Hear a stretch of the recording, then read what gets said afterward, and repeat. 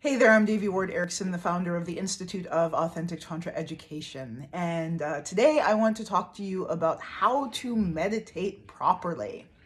Uh, because meditation, uh, there's a variety of different types of meditation and styles of meditation.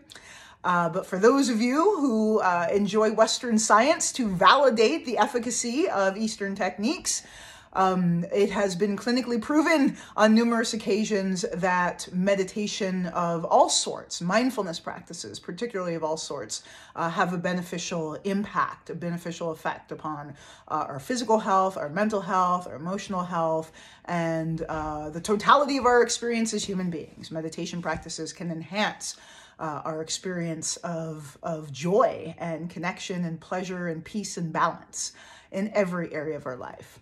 Uh, I personally have been meditating for a quarter of a century. I've been actively meditating for 25 years. Uh, and I started with the Ishaya's Ascension Meditation, which is uh, a, a, meditation practice that is rooted in Eastern mindfulness practices, woven with a, a Western orientation. Um, and for over the past 13 years, I've been actively cultivating uh, Tibetan Tantric Buddhist meditations, the Tibetan five element meditations, and other Vajrayana Buddhist practices. So I've had a lot of uh, mileage under my belt when it comes to uh, mindfulness and meditation. So I want to share these tips for how to meditate properly with you uh, because I would have found them so helpful 25 years ago uh, if someone had shared these with me. Uh, one of the biggest issues that I see and that I remember having and that I see my students having in terms of meditation is trying to force the mind, trying thinking that focus means uh, control, uh, means rigidity, and means force in any way. Uh, and so when you are forcing the mind, that is going to be a miserable experience for you. so, uh, so I know when I first first was introduced to meditation, I and and people said, you know, clear your mind, and I was like trying to clear my mind and straining really hard to make the mind clear. And it was torture. It was awful. Like i couldn't meditate for like two minutes because uh, it was so strenuous. It was like the absolute opposite of relaxing so and i hear this from from other people in the world as well like i'd love to meditate but i don't know how to clear my mind or it's hard or i don't like it and and meditation actually should feel like drinking a cool glass of water on a really hot day. That's what meditation ultimately and ideally should feel like for us when we're doing it without force uh, and we're practicing it in the way that it was designed for us to practice. So, meditation, when we're doing it properly, is actually working with the mind, not against the mind. It's the understanding that, that thoughts are normal and natural, and thoughts flow through the mind like currents of water. So, I'm going to give you an analogy here. Imagine that your mind is a body of water, like a deep body of water, like a lake or an ocean. And most of the time, without meditation practice and the conventional kind of Western orientation to life, we're floating on the surface of the mind. And sometimes, just like the surface of a body of water, sometimes it's calm and clear and we can kind of cruise along. But a lot of times it's turbulent and there's ripples and there's there can be big waves or there can be little, you know, little turbulence, little waves, or there's a breeze blowing across the lake. But we're kind of like our awareness is kind of like tossed around like a little ship on the on the ocean waves. And there's no anchor, there's no mooring, there's no grounding into a deeper truth. And so we can go through our days feeling like, whoa, just kind of like blindsided by all the thoughts and all the shit that's flying by us at every moment. Um, or again, as I said, some days, you know, the waters of the mind are clearer, and so we can have a more, an experience of more balance and more, more openness.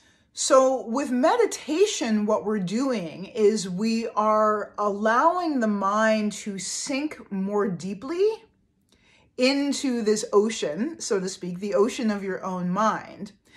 And it's almost like dropping an anchor to the bottom of the sea floor so that when these waves are coming and the you know the turbulence of life is occurring instead of being tossed around by it we have a root we have an anchor and that anchor at least in tibetan tantric meditation is the anchor is into your own heart into the heart uh, the infinite space of your own mind That's where your anchor is, which I find is really beautiful, anchoring into our heart and the source of unconditional love. So, with meditation, we are training the mind to instead of focus on all these ripples and the currents on the surface, to begin cultivating and sinking into a deeper state of presence, awareness, and focus. And so all of this turbulence may still be going on on the surface, but we are not as impacted by it. We are not as affected by it. We're not tossed along by the waves. So think of like, you know, someone again floating in a, on a raft uh, on the surface of the ocean during a storm and someone who's underneath the water and like kind of looking up and looking up at all the drama and activity going on up there. But we're anchored in a deeper space. We're not being tossed around. We may be like flowing gently with the, the underwater currents instead of bouncing around on the surface. So that's, that's, that's the impact. That's the effect that meditation can have on our awareness. When practicing uh, any meditation technique, it's really about changing and shifting your focus. So, again, our normal everyday awareness is focused on all of the thoughts that we're thinking throughout the day. And our thoughts are often turbulent. I think there was a science done several years ago that said the average uh, Westerner thinks over 100,000 conflicting thoughts every day. And I think that research was done like 20 years ago. So I would imagine with the, you know, technology and distraction and that sort of thing, that uh, that number has increased significantly. So, and again, these hundreds of thousands of thoughts are conflicting thoughts. So they're not thoughts about like, you know, oh, I want to benefit the world by doing this, you know, wonderful thing. And, and oh, here's my, you know, contribution to uplifting humanity. Those, those thoughts may occur in your mind. They're all often uh, conflicted with other thoughts, maybe about how we're not good enough to do what we want to do, or this person said that, or uh, I've got to worry about this bill, or you know what's going on on in on the news, or just all of this conflict, all of this this discordance that is that is normalized in Western society. Western society is very discordant, and we just kind of navigate this as as a normal state of being. And I can assure you that it is not normal. It is it is it is not a reflection of, of our true nature as human beings. And so, with correct meditation practice, we're giving the mind something concrete, tangible, and rooted in our ultimate nature, in ultimate truth. So that's that's the key about meditation practices is that the more potent they are, the more they are reflective of our ultimate nature and ultimate truth. This is one of the reasons why I adhere to the lineage-based methods of Vajrayana tantric Buddhism as opposed to, you know, something that somebody, you know, a meditation practice that somebody made up that may be a lovely meditation practice, but it's not a transmission from an enlightened mind.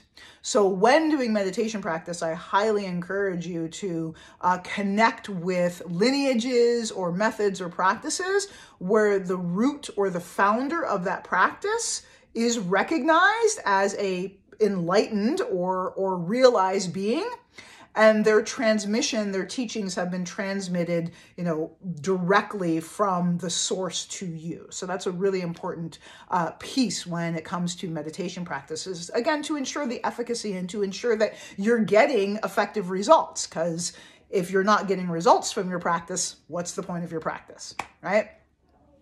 So giving the mind something concrete and and realized to focus on, something that has been proven uh, over time to affect and cause positive beneficial changes in the mind. So that's your point of focus. And then all we do with meditation is shift our focus from these turbulent thoughts and these currents of thoughts that are arising and put our attention on that point of focus. And the thing is that we do not need to force the mind to stay present with that point of focus. It is natural for the mind to wander. We are retraining our attention. Our attention has been focused on our thoughts for most of our life. So it's going to take time to retrain the mind to be present with our point of focus. That's a critical thing right? So when I first started meditation, I had this expectation that I was just supposed to stay focused on this thing. And that's such an unrealistic expectation because I've, if I've been doing this other thing my whole life, how and why would I expect to be able to do something different in an instant with no practice and no training? So one of the core functions of meditation is mind training. We're literally, you're literally retraining your mind, rewiring your brain, literally, to be present, to to to focus on on what you choose to focus on, as opposed to being carried away by our habits, by our conditioning, by our propensity. So we are reclaiming control over our mind, ultimately. We're reclaiming control over what we put our attention on, what we choose to focus on, what we choose to put our attention on. And this process can be easy and graceful and natural because what you are doing is again, it is natural. It is natural to redirect your focus. You're, you're thinking about thoughts and you know doing the dishes and whatever you remind you become aware that you're thinking and you gently bring your awareness back to this point of focus. And then you're going to lose focus again. You're going to you're going to follow your thoughts. Your mind's going to wander. And anytime you notice that you're thinking simply and gently bring your awareness back to that point of focus. And for a while it's going to be this back and forth back and forth, back and forth. And that is perfectly okay. That is exactly what's supposed to happen. Because actually, that back and forth, every time you come back to this point of focus, you are anchoring. It's kind of like a touchstone. You're anchoring your awareness in your ultimate truth. And then you're going to go away. And then you're going to come back to truth. And then you're going to follow your habit. And then you're going to come back to truth. And then you're going to lose your focus and then you're going to come back to truth. But eventually, because what we are anchoring in is the truth, the mind will eventually relax and want to be present here because this feels better than all of this fucking chaos. This presence, this truth, this clarity, this connection to your ultimate awareness is more pleasurable and desirable than all the fucking drama. It absolutely is. And when you can begin to sense this and feel this, there's no struggle. There's no strain. It's simply a matter of choice. Do I want to follow that crazy thought or do I want to ground and anchor in to my ultimate nature? My ultimate awareness and feel the peace, the presence, the clarity, the joy, and the bliss that is inherent in my ultimate nature. I know which choice I'm making on a daily basis. So, this is the other thing about meditating properly. Remember this analogy of, of a deep body of water and all this turbulence on, you know, the surface. Well, because that turbulence is so normalized, we don't even notice it sometimes. Like so much of the thoughts that are running are running in our subconscious. We're not even aware of them because we're functioning, right? But there's all this story going on underneath that is impacting and is uh, determining how we flow and how we move through life. And so when we first start getting present with ourselves, with our body, with our breath, with our mind, it may seem like there's a torrent of thoughts because we're finally resting enough, getting present enough to actually see all this shit that's been going on under the surface, to become aware of all of that static that's running all the time. And so at first, it may seem like you actually have more thoughts than you did before when you first start meditating. It may seem like a deluge or a, or a waterfall of thoughts. And this is this is something that is stated often in some of the, the Tantric Buddhist, Buddhist uh, texts or teachings that I've read.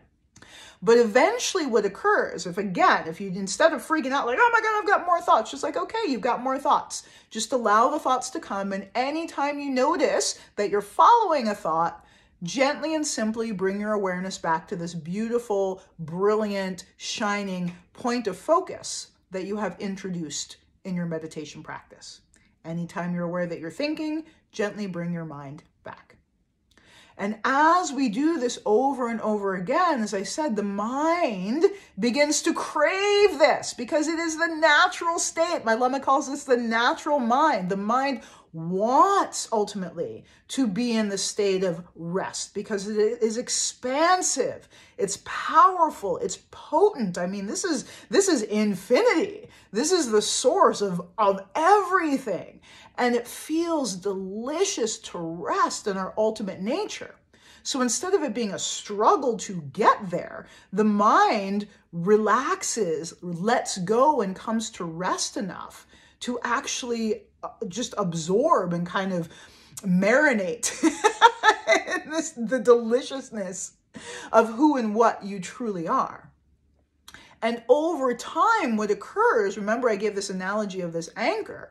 So what occurs is this anchor begins to sink more deeply, deeper and deeper into the depths of the ocean. And so what used to be this turbulent functioning then begins to function at a deeper level and a deeper level and a deeper level. So at a certain point, the depth of your ultimate consciousness and your functioning relative mind experience union, become one. And that, in my understanding, is one of the first stages of enlightenment, when our ultimate mind and our relative mind unite. And from there, all kinds of awesome stuff happens. And I'll let you know what happens when I get there. If you're already there, you can let me know what, what's going on in that space. But for now, our, our task or our practice or our yoga, so to speak, is to cultivate presence with our breath, with our body, with our divinity, with our ultimate nature. And practice this, cultivate this every day. And the deeper we go, the better it gets. And so this is a little tutorial on how to meditate correctly uh, based on my 25 years of meditative experience. So I hope I hope this resonated with you. I hope this was clear for you and you're able to implement this uh, in your meditation practice. And if you want to learn more about the Tibetan five element tantric meditation practices, I invite you to go to our website authentictantra.com uh, and uh, sign up for any of our free offerings if you haven't already, or contact one of our amazing coaches who can guide you and tailor and and kind of um, support and nurture your journey into reconnecting with your ultimate divine nature, which ultimately is the totality of your human nature.